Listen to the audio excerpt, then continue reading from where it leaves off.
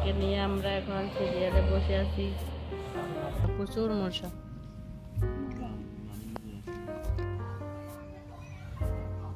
এই যে এখন আমরা রাকানকে নিয়ে হসপিটালে যাইতেছি।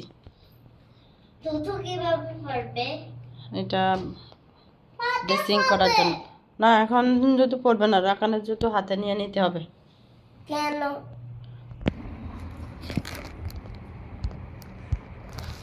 আসসালামু আলাইকুম।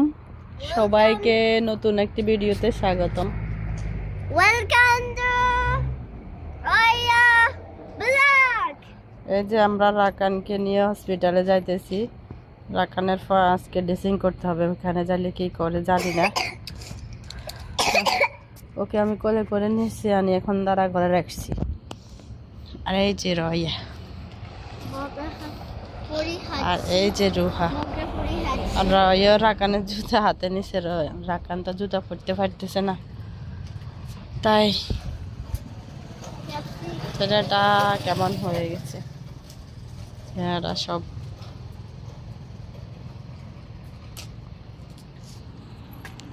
আর এই যে বাইরের অবস্থা।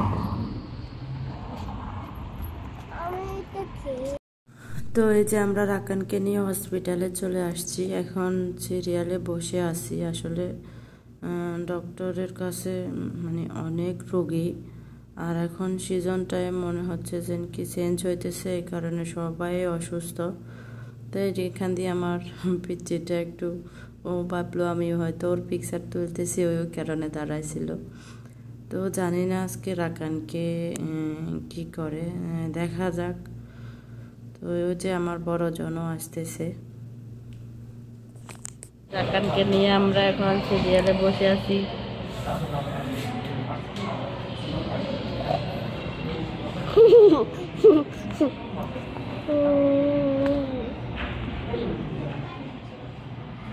প্রশ্ন হতেছে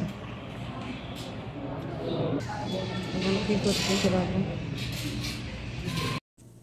তো এই যে এখন আমরা তো বাসা থেকে মাস্ক নিয়ে আসি নাই, আর এখানে প্রতিটা হসপিটালে মাস্ক থাকে, যার প্রয়োজন সে ব্যবহার করতে পারেনি নতুন মাস্ক। তো ওদেরকে নিয়ে লাগাই দিছি, যেহেতু অনেকক্ষণ হসপিটালে থাকতে হবে, তো ভাবলাম সবাই রুগী মানে কি বলব, হসপিটালে চাইলে কোনো হসপিটাল খালি নেই এখন। তো এই যে ছোটো জনও লাগানোর জন্য বলতেছে, আর ওরা আব্বু লাগাই দিছে। তো এখন আমরা রাকানকে নিয়ে যাব ভিতরে। এই যে আমরা রাকানকে নিয়ে এখন ভিতরে আসছি। আসলে এখন আজকে সেকেন্ড দিন মানে ইয়ে করতেছে ড্রেসিং করতেছে। জানি না আর কয়দিন লাগে, আল্লাহ ভালো জানে। ছেলেটার পাটা মানে কীভাবে কি থেকে কি হয়ে গেল। এখন এই যে হালকা একটু দেখা যাইতেছে চামড়াটা। আমি পুরো ভিডিও করতে পারি নাই। ও কান্না করতেছে, ওকে ধরতে হয়েছে আর সিস্টারও মানা করছে তাই। তো এখন এই যে আবার ব্যান্ডেজ করে দিছে, তা আমি এদিকে রাকানকে নিয়ে বসে আছি। আর ওর আব্বুরও শরীরটা ভালো নেই তো ওর আব্বু ডক্টর দেখাবে তো সিরিয়ালে বসে আছে। অনেক রোগী কখন শেষ হবে, আল্লাহ ভালো জানে। তো আমরা বসে আছি, আমি রাকানকে নিয়ে এক সাইডে বসে আছি। ও ব্যথা ব্যথা করতেছে, ও কান্না করতেছে। যাই হোক, আলহামদুলিল্লাহ, আমরা সব কিছু শেষ করে এখন বাহির। বাহিরে চলে আসছি আসি। এখন একটু ভালো লাগতেছে আসলে মানে বাচ্চাদেরকে নিয়ে ভিতরে। তো এখন রাকানে হ্যাঁ, কিছু খাবে বলল তো আমরাও ব- ভাবলাম যেহেতু নয়টা বেজে গেছে তো আমরা আমাদের জন্য সবজি আর রুটি নিয়েছি রাকান রয়ের জন্য বিরিয়ানি নিছি। তো দেখি ওকে একটু খাওয়াইতে পারি কি না। যদি খায় তো আলহামদুলিল্লাহ খাওয়ানোর পর ওর ওষুধ আছে ওষুধগুলো খাওয়াই দিতে হবে। তা আমরা হসপিটালের পাশে একটা পার্ক আছে সুন্দর, তো ওই পার্কটাতে বসলাম। বেশ ভালোই আলো আছে, তবে মশার জন্য বসা যাইতেছে না। তো ওইখান দিয়ে আমরা খাবার দাবার খেয়ে আমি মেয়ে জন বোনকে নিয়ে আসছি। এখানে সুন্দর খেলনা আছে।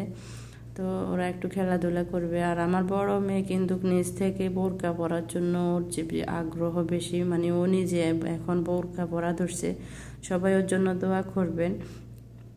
ছোটবেলা থেকে অভ্যাসটা হওয়া ভালো, আল্লাহ যেন সবসময় এরকমই রাখে। তো এখন খেলাধুলা করতেছে আর গরম, এখানে এখনও ঠান্ডা আসে নাই। তো আমি ও একটু গরম লাগলে চোলগুলো ভিজে যায় যেহেতু মাসাল্লাহ চোলগুলো বড়। আমি বলছিলাম, তোমার হিসাবটা খুলে ফেলো, ও খুলবে না। তো ওই, ওইভাবে খেলাধুলা করতেছে। কিন্তু তার বোরকা আর চুলগুলো ভিজে গেছে। তো বেশ খানিকক্ষণ ওইখানে খেলার পরে এখন আমি চলে যাইতেছি। কারণ রাকানা, রাকানার আব্বু ওইদিকে বসে আছে। এখন যে আমরা চলে যাইতেছি। আর এখানে সুন্দর একটি কাঠগোলাপ, এই যে ফুটে আছে গাছে। তো আপনাদের সাথে একটু শেয়ার করলাম।